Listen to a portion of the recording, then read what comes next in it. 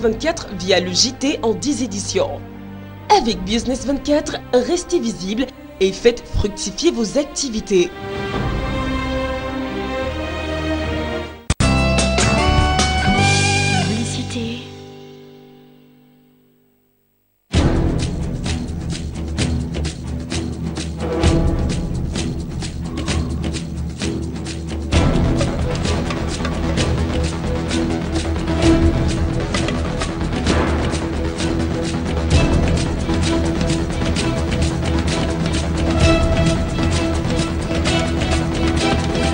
24, votre chaîne d'information économique 24 heures sur 24.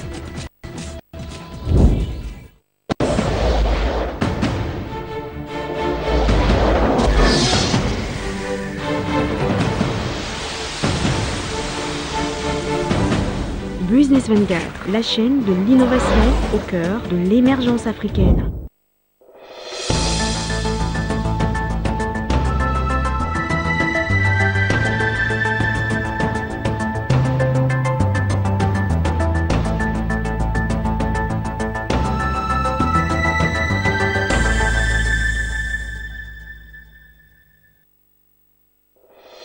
À l'occasion de la fête du 1er mai, le président de la République Alassane Ouattara a échangé avec certaines centrales syndicales sur la grève des fonctionnaires de Côte d'Ivoire. Le président Alassane Ouattara a appelé à une trêve sociale et au dialogue. Les réactions des responsables syndicaux ne se sont pas fait attendre. La fête du travail a été célébrée à Abidjan et partout en Côte d'Ivoire. Dans cette édition, nous irons à Cocody, à Soubré et à Logoualé pour vivre les temps forts du 1er mai. Et puis la grande messe du tourisme, le site à 2017 a refermé ses portes. 50 000 visiteurs ont été enregistrés pour cette septième édition du Salon international du tourisme d'Abidjan. Les détails dans cette édition. Voilà pour les titres. Bonsoir et bienvenue à tous sur Business 24 Africa. Le président de la République, Alassane Ouattara, a présidé le lundi 1er mai au palais présidentiel la traditionnelle cérémonie officielle de célébration de la fête du travail. Occasion pour les centrales syndicales Humanisme, Unatrécie, FESACI, Dignité et UGTC dégrainer les difficultés traversées par les travailleurs de Côte d'Ivoire. Cherté de la vie, réintégration de certains travailleurs licenciés et paiement du stock des des salaires, entre autres. Mais ce qui aura dominé les échanges avec le chef de l'État, c'est la grève des fonctionnaires de Côte d'Ivoire. Le président Alassane Ouattara a appelé à une trêve sociale et au dialogue. J'approuve totalement l'appel du gouvernement à une trêve sociale. À une trêve sociale qui devrait être conclue, et je l'ai demandé également, d'ici la fin du mois de juillet. Elle doit nous permettre de travailler sereinement à la résolution des problèmes identifiés. Et je me félicite de la mise en place du comité de la trêve sociale qui devra en examiner les modalités. Voyez-vous, quand nous sommes arrivés, nous avions la possibilité de dire, mais même s'il y a la continuité de l'État, les responsabilités des autres peuvent attendre. Mais nous n'avons pas attendu. Nous avons payé une partie de ce qui est dû aux fonctionnaires. Et nous avons profité de l'embellie pendant cette période, même pour augmenter les salaires des fonctionnaires. Et je crois savoir que ces augmentations sur cette période remontent à plus de 600 milliards de francs CFA. Donc les salaires n'ont pas été bloqués, les salaires ont été, donc euh, augmentés progressivement. Mais il faut de l'équité dans tout ce qui se fait dans un État organisé. Les réactions n'ont pas tardé après le discours du chef de l'État appelant les fonctionnaires au réalisme et au dialogue face à ce qu'il a qualifié de grève injustifiée. Nous ne sommes pas satisfaits de la réponse donnée par le président de la République. Étant entendu que nous sommes venus ici aujourd'hui pour d'abord un, que euh, le stock soit reconnu et qu'ensuite euh, un chronogramme de paiement, aussi long soit-il, euh, soit établi. Euh, donc voilà, ce n'est pas, pas, le cas. On nous parle d'un autre échéancier de discussion. J'avoue que nous repartons en restant sur notre fin. Nous notons que le président de la République a demandé de façon diligente et urgente à tous les ministères concernés par les revendications sectorielles mais urgentes de se pencher et de revenir dans un délai raisonnable. Vous comprenez alors que de l'espérance est à l'horizon. On a posé des revendications telles que euh, les soldes aérés des fonctionnaires et tant d'autres. et dans, son, dans, les différentes réponses, il a dit qu'il devait mettre des gens au travail, de telle sorte que jusqu'à juillet, pour qu'on puisse vérifier effectivement si ces stocks d'aérés sont effectivement une réalité. Comment ça va se faire? C'est ça aussi euh, la question. Donc c'est pourquoi je dis que nous sommes à moitié satisfaits. Le président l'a dit, il a lancé l'appel aux centrales syndicales. Mais vous avez vu comment la, grève, les mouvements de grève ont été, ont, été gérés. C'était les travailleurs eux-mêmes, les concernés qui menaient la, grève. Donc nous, les centrales, on peut bien vouloir aller à une grève sociale, mais est-ce que les concernés, que sont les fonctionnaires qui ont lancé cette grève à travers des instruments tels que la plateforme et l'intersyndicale, Vont-ils aller dans ce sens? C'est vraiment la question qu'on se pose. Beaucoup de satisfaction parce qu'il a comblé vraiment toutes nos attentes. Savoir que nous aurons différentes plateformes pour euh, nous permettre donc de pouvoir discuter utilement, de poser les obligations, les notes en matière de préoccupation, mais de lui donner également l'opportunité d'y apporter des réponses idoines. Et c'est un peu cela qui nous conforte. Voilà, ces propos ont été recueillis par Soro Chelina. La fête du travail célébrée hier dans le monde entier n'est pas passée inaperçue à la mairie de Cocody. Le maire Ngoan Akamartias, comme à l'occasion des grandes fêtes, a saisi l'occasion pour communier avec les travailleurs de la mairie. Dans une ambiance conviviale, plusieurs doléances ont été faites par les travailleurs au premier magistrat de la commune, Max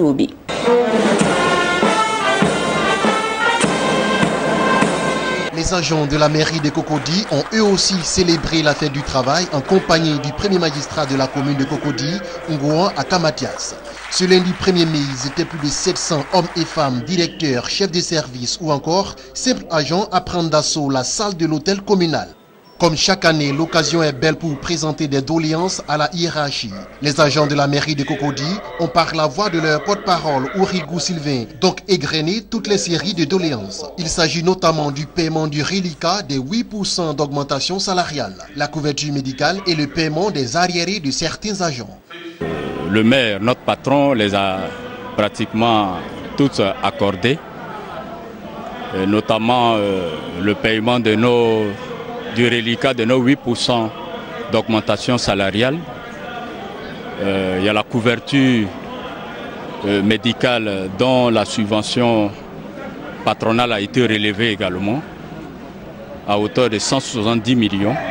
Ngoan Akamatias a dit son engagement à accéder aux doléances formulées par les agents, tout en les appelant au travail bien fait.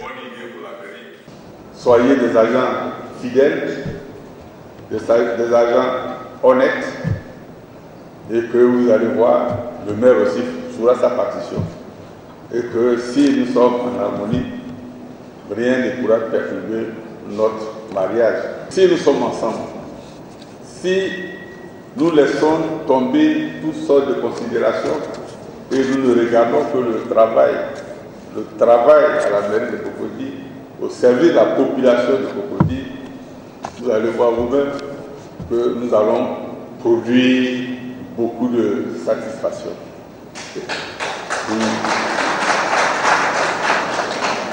Nous voulons être toujours devant. Et que un agent de Cocody se retrouve ailleurs, celui-là, ah, ça, ça, il doit venir de Cocody. Ça, il doit venir de Cocody. C'est ça.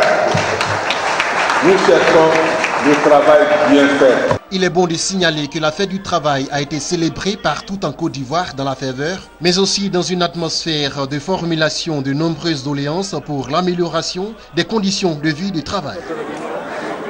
Rendons-nous à présent dans le sud-ouest de la Côte d'Ivoire, précisément à Soubré, où la traditionnelle fête du travail a été célébrée. Défilés, parades ou autres exhibitions ont meublé cette fête.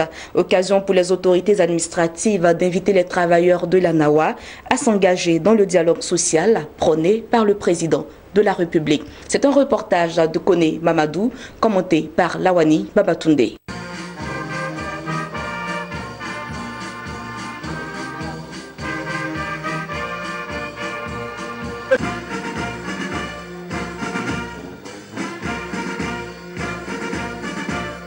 Lors de la célébration de la fête du travail, le 1er mai à Soubré, l'inspecteur du travail, New Gakula Yacinthe, directeur départemental du travail, a invité les travailleurs au dialogue social en vue de garantir la paix. Dans son allocution marquant la célébration de la fête du travail, New Gakula Yacinthe est revenu sur les avancées notables réalisées par le pays en matière de législation du travail. Il s'agit de la protection du travail des femmes et des enfants, l'obtention du droit de grève puis le droit d'association, l'acquisition et le développement d'une législation sociale relative à la maladie et aux accidents du travail, la garantie d'un salaire minimum, la réduction progressive de la durée du travail et bien d'autres encore. Pour le directeur du travail de Soubry, tous les bons résultats enregistrés depuis 2011 dans le cadre du travail sont le fruit d'un dialogue social dit développé entre le gouvernement et les partenaires sociaux. À l'entendre, malgré ces avancées, des besoins insatisfaits subsistent toujours dont l'expression peut menacer le péril de notre équilibre socio-économique durement acquis. En toute chose, il faut toujours dialoguer. C'est vrai qu'il y a des difficultés, il y a des préoccupations, mais le dialogue seulement peut donner une solution.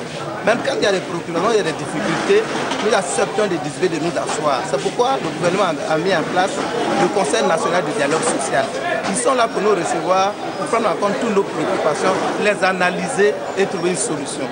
Notre souhait, naturellement, n'est pas que le système soit paralysé, sinon la nation n'existera plus. Mais au contraire, que les points de vue puissent être conciliés et que les travailleurs trouvent leur compte dans les décisions qui vont être prises et que naturellement l'État aussi puisse garantir la sécurité et le bien-être à toutes les populations.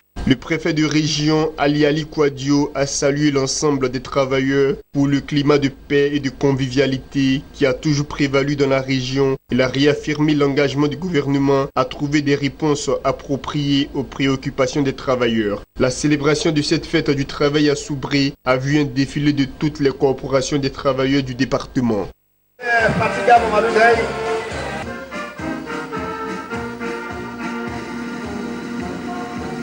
Parlons tourisme à présent. Après quatre jours d'intenses activités comprenant des expositions, des conférences, des panels, des rencontres B2B, des sessions de formation ainsi que des parties de gastronomie et des jeux divers, la septième édition du Salon international du tourisme d'Abidjan Cita 2017 a refermé ses portes ce lundi.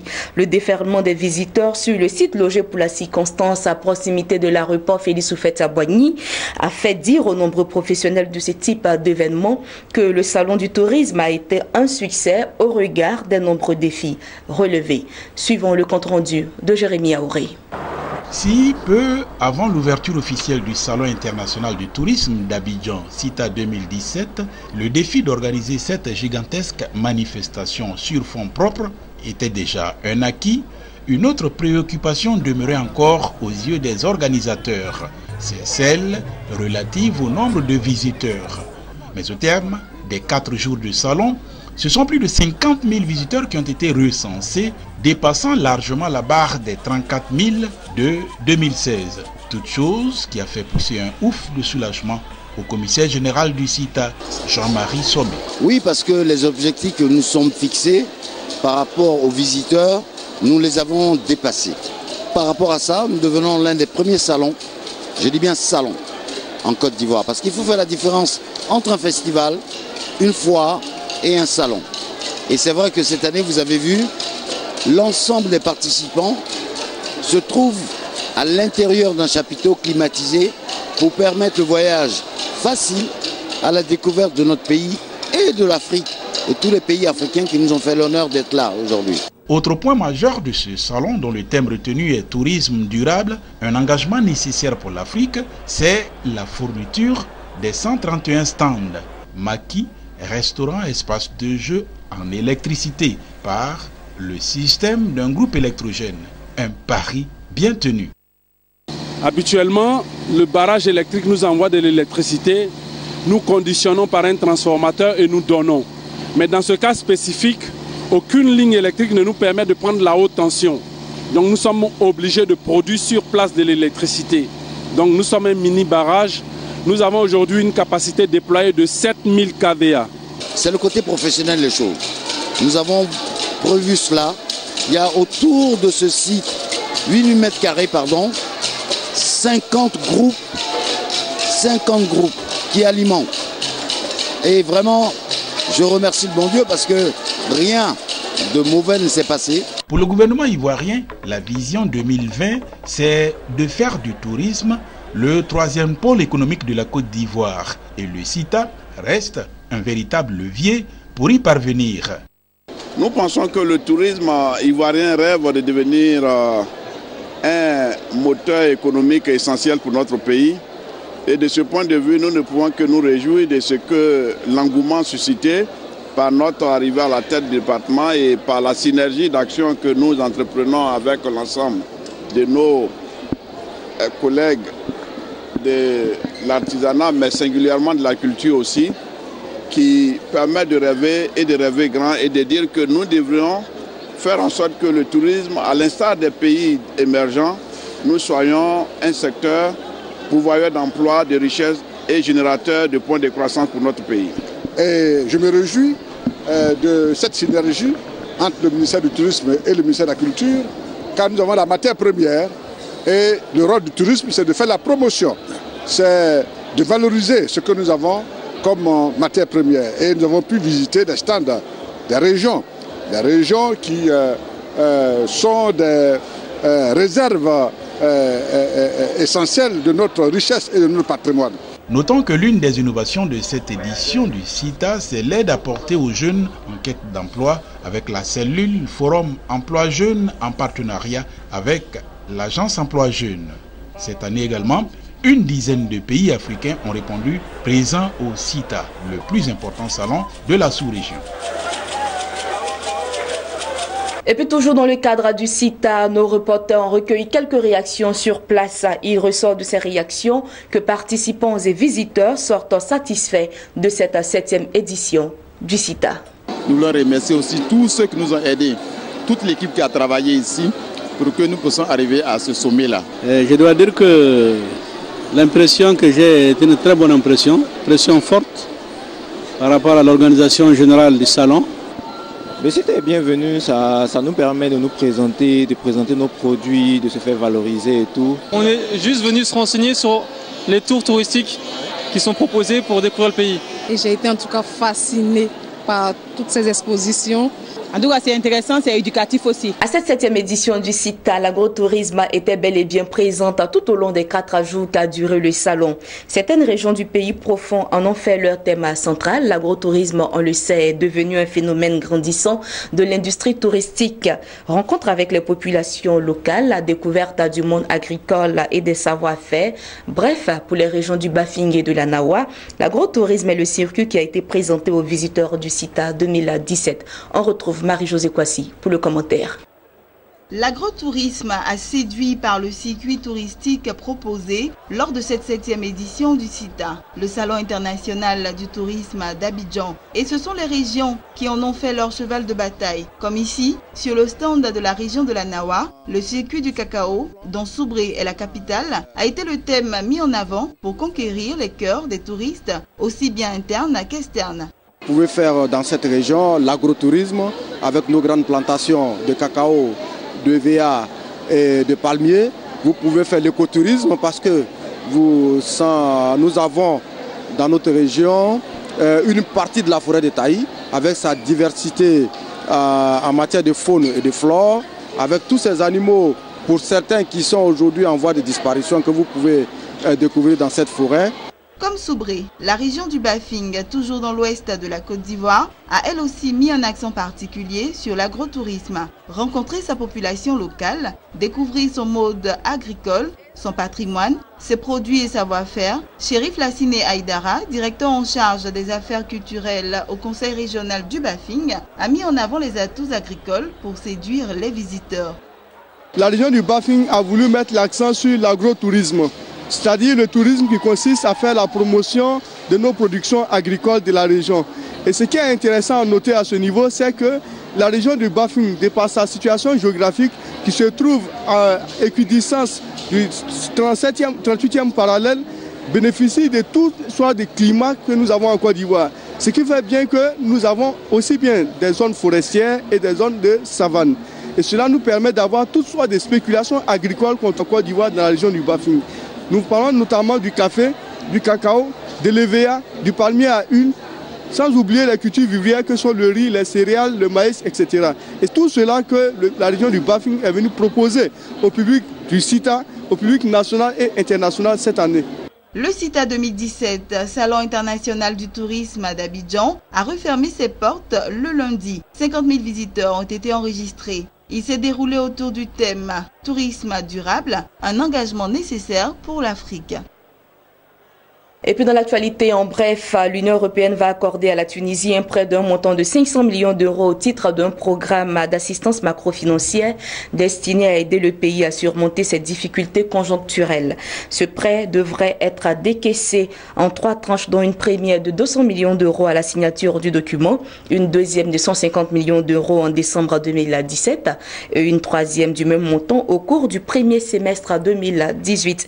Selon la ministre tunisienne des Finances, ce programme programme d'assistance macro-financière comporte des mesures et des réformes qui coïncident parfaitement avec des stratégies et les priorités de développement de l'Égypte.